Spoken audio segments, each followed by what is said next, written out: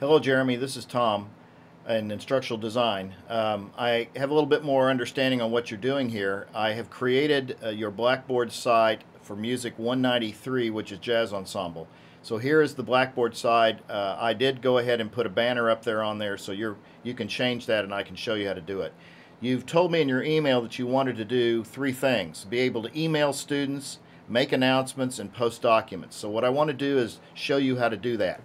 First off, on this screen that you see, make sure that your edit mode is on. And then if you want to create announcements, simply click Create Announcements right there on the screen. Okay, and so there you can type in your subject line. You can put in whatever announcements you have. You can, uh, if you put this button here, it won't restrict the amount of time that the announcements will show up on this page. If you click this little box, it will make sure that the announcement is sent out immediately to every student enrolled in the course so that you don't have to do it manually. Okay? So that's the best way to do it. And I'm going to click cancel here and get out of that. So you click submit uh, and your announcements will show up here and the students will then get an email about what uh, their announcements is. Okay, in terms of uh, emailing students, like I said, this will actually do the same thing as emailing students, but you'll notice over here on the left, you have an email link. If you click on that, you have the ability to, to email all of these situations. So if you want to email a single student, click single select user. So if you want to uh, send a message to Chance, you click his name, you click that button, it moves it over there, you type the subject, you write the message, you can attach a file, and you submit. Okay? So it gives you a lot of options for email if you want to send one to all users. You'll notice all the people that will be there. You put the subject line, you put your text, you can attach a file, click submit.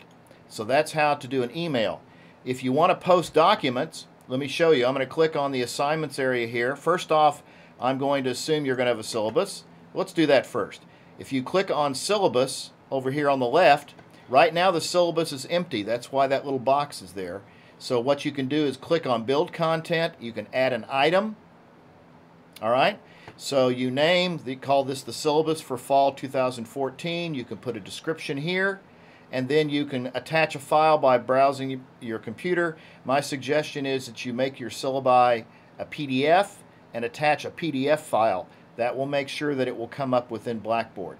Then make sure this little button is pressed yes to permit users to view the content and then click submit. And that's the way that you can add a syllabus and you'll notice there are all kinds of things you can add here and I'll be more than happy to help you add additional information if you want.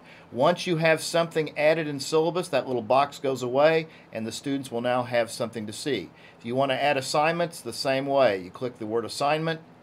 It's empty until you add something. Again, I like the item because it gives you the ability to add an item like so, name it, put in text, attach files, and then allow users to use it.